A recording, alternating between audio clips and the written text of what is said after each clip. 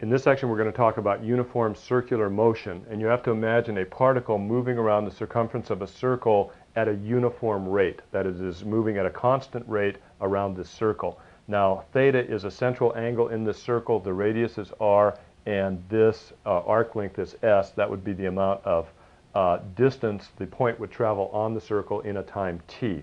Now the linear velocity, if the point goes from here to here and covers this distance s in a time t, then the linear velocity of that particle is v equal s divided by t, just distance divided by time, and that will be our linear velocity. The angular velocity is the amount of angle rotation that this goes through in an amount of time t, and that's defined as omega, which is, by definition, theta, the amount of angle that you go through in time t. So it's this angle theta right here, measured in radians, divided by t. The relationship between linear velocity and angular velocity is the linear velocity is the radius times the angular velocity. If you want to see the derivation of this, you have to look in the book. Um, so imagine that this point P travels a distance of, let's say, uh, 5 feet in 2 seconds. Then its linear velocity is going to be 5 feet divided by 2 seconds, or 5 halves feet per second.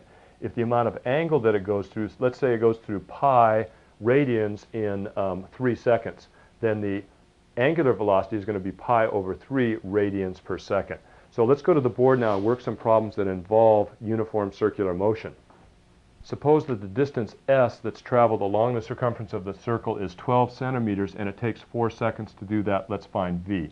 Well, v is equal to s divided by t.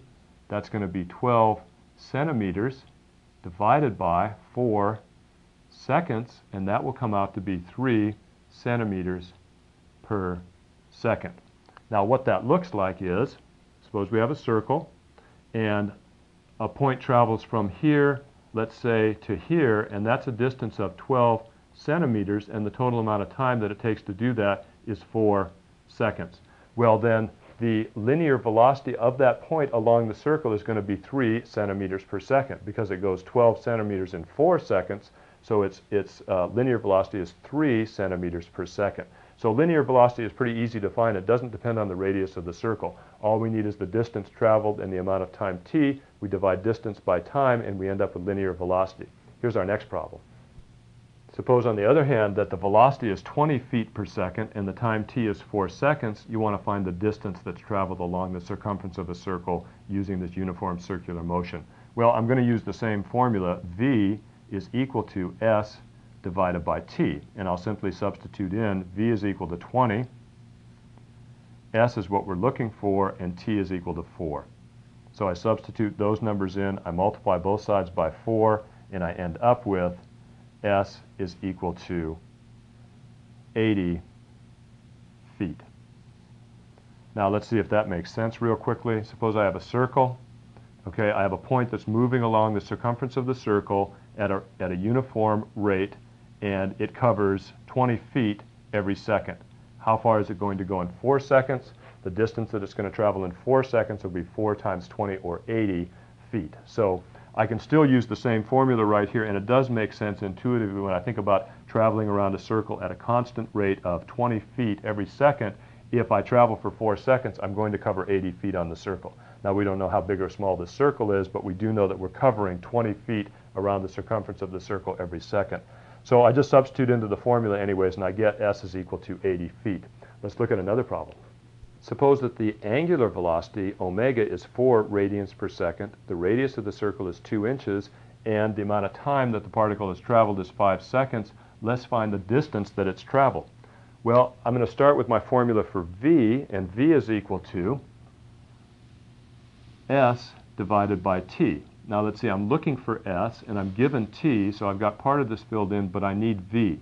Well, V is also equal to, besides S over T, the other formula is R times omega. So S over T must be equal to R times omega because V is equal to S over T and V is equal to R times omega. So let's substitute in using this equation right here and see what we get. So S divided by T, so I have S divided by 5 is equal to r, which is 2, times omega, which is 4 radians per second. So I get s is equal to 2 times 4 times 5 when I multiply both sides of this by 5. 2 times 4 is 8 times 5 is 40. And that's 40. Let's see, s is my arc length. I have radians per second and inches, so this is going to be 40 inches. So if I have uniform circular motion in which a point is traveling around the circumference of a circle with angular velocity 4 radians every second, the radius of the circle is 2 inches and I let this thing go for 5 seconds, the total distance that I'm going to cover is 40 inches along the, around the circumference of the circle. Let's look at our next problem. 10 RPMs is what omega? So by this I mean 10 revolutions per minute. What I have here at RPM stands for revolutions per minute is what as an angular velocity because a lot of problems in real life you see are given in terms of RPMs or revolutions per minute.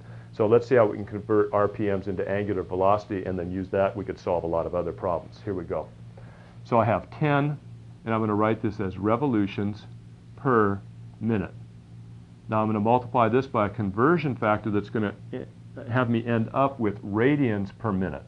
So what I have is this, 2 pi radians are in one revolution. So one complete revolution around a circle is 2 pi radians. You can see that my revolutions will divide out right here, and I'll have 10 times 2 pi, which is 20 pi radians per minute. So 20 pi radians per minute is the same as 10 revolutions per minute, and that will always be the case. So I can change from RPMs to uh, angular velocity anytime I want by multiplying by 2 pi radians per revolution. The revolutions will divide out here and I'll be left with radians per minute, which is the units for angular velocity. So that's a quick look at linear velocity, angular velocity when we have uniform circular motion and the relationship between those two velocities.